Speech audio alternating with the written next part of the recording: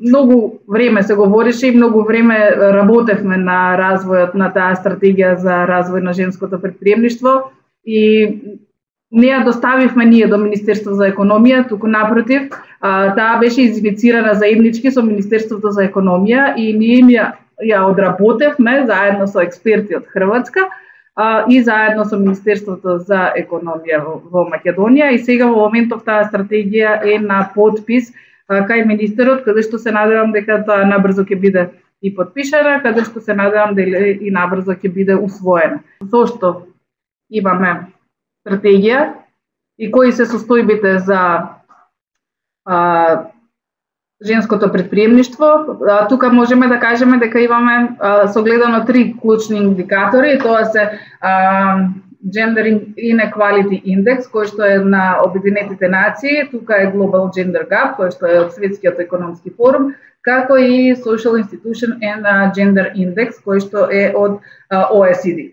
За жал, бројките не покажуваат дека стоиме добро во сите овие а, три показатели. Значи, каде што, ако зборуваме според, според а, Gender Inequality Index, а, имаме пет индикатори и тоа а, показател на економска активност, показател на зајакнатост на ниво на образование и средно училиште, а, учество во структурите на парламентот, показатели на репродуктивното здравје, како и плодност на жените и смртноста на мајките. Сите знаеме дека на сите овие пет индикатори ние не стоиме добро.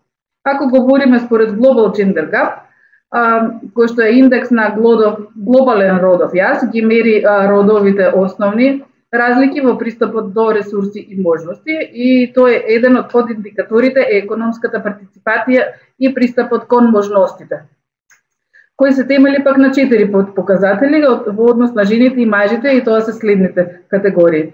Учеството во работната сила, еднакви плати за слична работа, процената за работувачка, како и учество во категорија на законодавни функционери, функционери од повисок ранг и менеджери. Сите ние сето ова до сега можам да кажам дека го споменавме и во предходните овие говори. А, сега јас би ги скокнала другите Global Gender Gap и Social Institution and Gender Index од OECD, затоа што сите овие информации може да бидат најдени на веб, така да кој сака можеме и да им ги доставиме. Тие се основа зошто ние ја градиме нашата стратегија. Меѓутоа, би сакала да се осврнам на оценката на состојбата на економската активност на жените во Македонија, каде што можеме да кажеме дека имаме неколку а, точки, каде што викаме предприемачката активност во професионална смисла, тоа е започнување на нови бизнис потфати. Таа е темата која што нам не е горлива. Вработеноста, меѓутоа не само вработеност како можност за заработка, туку и за можност за добра заработка и за можност за напредок и вклучителност на собственичките или управувачките активности. Е сега тука велиме дека информациите и изворите на информации за оценка на состојбата на економската активност на жените се уште не се систематизирани и не се поврзани. Така да ние во принцип сите ова што го говориме до сега го кажуваме од наша лична перцепција. Меѓутоа нема систематизиран еден пристап. Изданието Woman Мен на во Македонија, која што го издал Државниот завод за статистика дури во 2008 година, значи од тогаш наваму немаме ништо ново, ги опфаќа податоците за населението, образованието, социјалната грижа, пазарот на трудот, меѓутоа нема информации за собственичката структура во стопанството и платите. И при тоа се уште немаме никакви информации, ниту за собственичките структури, ниту пак за а, платите, а, како, како се движат она кое што го а, на, на, налагаме, со кое што сакаме да работиме во стратегијата е исто така дел од тоа.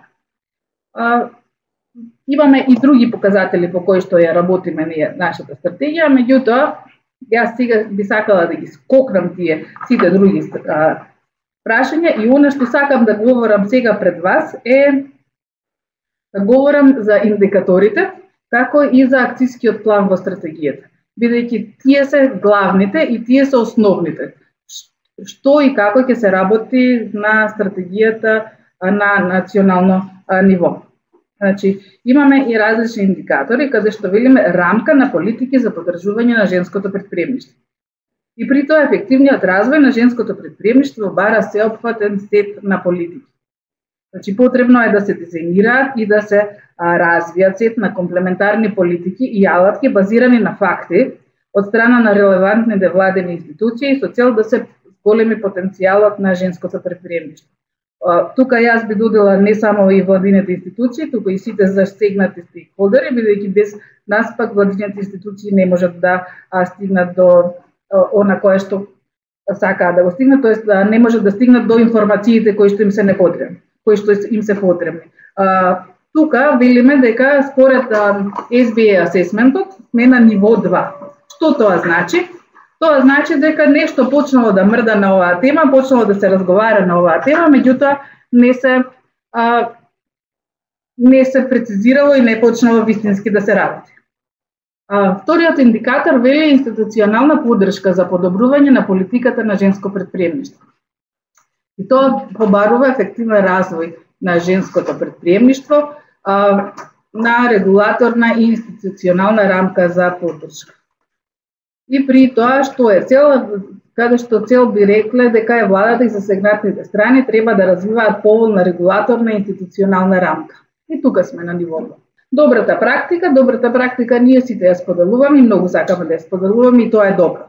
Дека сакаме да ја споделуваме, значи размената на добрата практика придонесува за подобра ефикасност во дизајнот и пренесувањето на предприемачкото учење.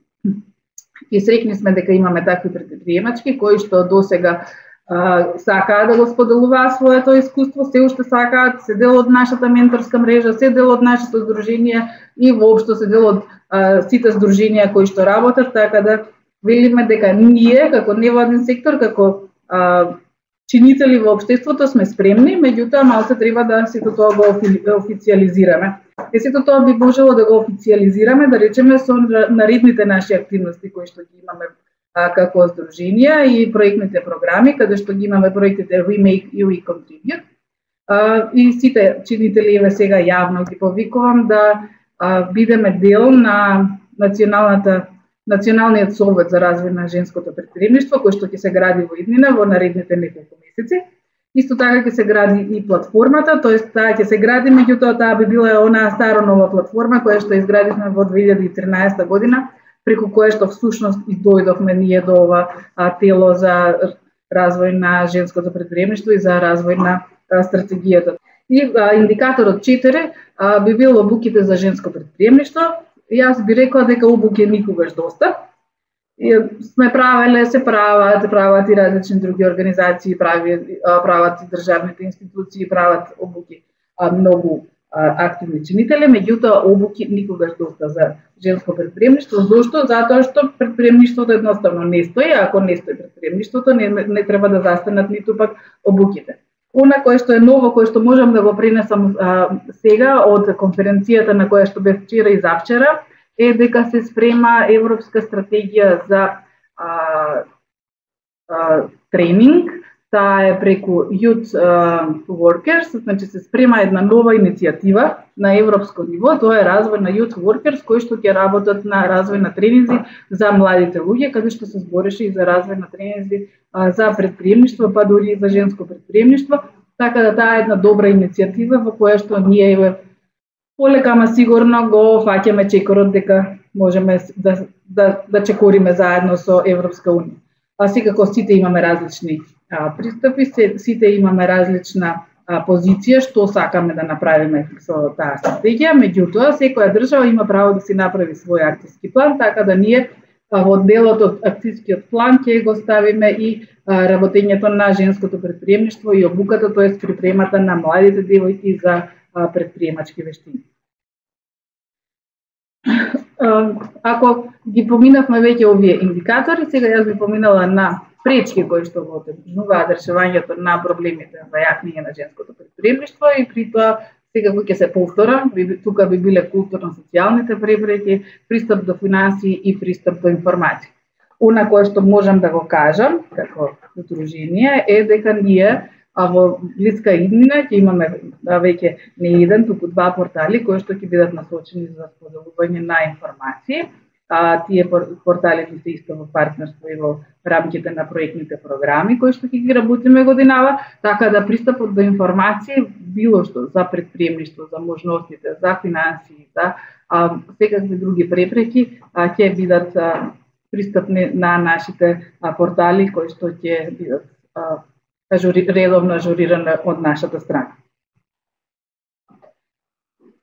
Ако веќе говоревме за пречките, значи тука се културно-социјалните препреки, пристап до информации, значи тука имаме разни пречки кои што се, да речеме, контекстуални, структурални пречки, значи економски пречки, меки пречки и многу други пречки, меѓутоа Зошто велиме дека имаме пречки? Затоа што тие треба да се решаваат. Е сега, јас ова сето со пречките ќе го скокнам и одам на а, целите и стратешките приоритети на стратегијата. Зошто? Затоа што пречките сите си ги знаеме, доволно ги говоревме. Сега јас би сакала да говорам за а, целите и за стратешките приоритети на стратегијата. Значи, приоритети од аспект на јавни политики, од аспект на интересите и потребите на жената и од аспект на институционалната инфраструктура. И при тоа имаме стратешки приоритети кои што велиме дека се насреднорочно и долгорочно а, и, и долгорочно. Стратешките приоритети велиме дека се креирање на половен амбиент за поволен амбиент за а, развој на женското предприемништво, обезбедување на системско Подршка за развој на женското предприемништво, креирање на инфраструктура за подршка и при тоа промоција, вмрежување и застапување.